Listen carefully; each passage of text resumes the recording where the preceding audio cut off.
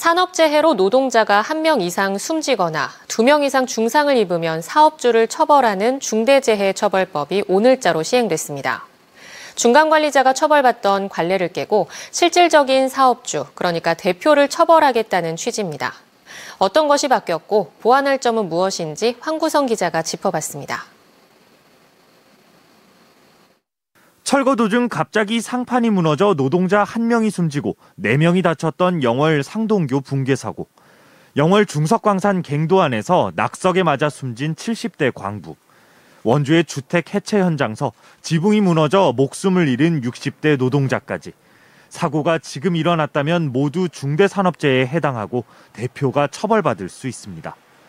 건설이나 제조업 등 50인 이상 사업장 내 중대재해를 처벌하는 중대재해처벌법이 전면 시행됐습니다.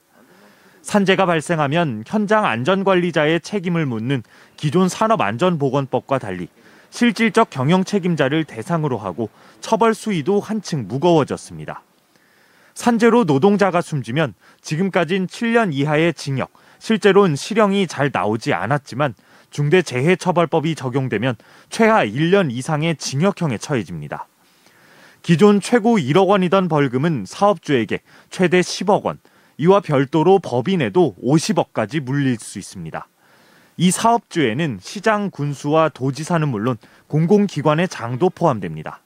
원주시는 재해 예방 관리팀을 신설하고 내부 직원들은 물론 시정 사업과 관련한 시민들의 안전 관리에 들어갔습니다. 약품이라든가 기계 장비를 다루는 그런 곳에 대한 직원들의 안전을 우선적으로 좀 담보할 수 있는 고용노동부 강원지청은 근로감독관 3명으로 중대재해 사건 전담 수사팀을 발족했습니다. 경찰로 치면 광역수사대에 해당되는데 중대재해로 규정된 노동자 사망이나 6개월 이상 치료가 필요한 2명 이상 중상 사고를 직접 수사합니다. 강원권에서 발생하는 중대재해처벌법 사고를 저희가 수사를 하게 됨에 따라서 인원이 보강이 돼가지고 수사팀이 설치됩니다. 법이 시행됐지만 보완할 점이 더 많다는 게 노동계 입장입니다. 산업 전반의 안전 대책을 강구하기보다 법에서 정한 경영 책임자가 모호해 원하청 간 책임 떠넘기기를 부추기고 여전히 발주처는 처벌하기 어려울 수 있다는 겁니다.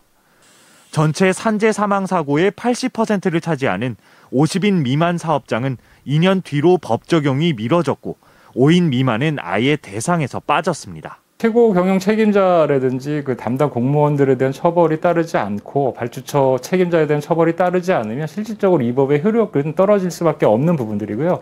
최근 2년 동안 산재로 사망한 노동자는 강원도에서만 62명.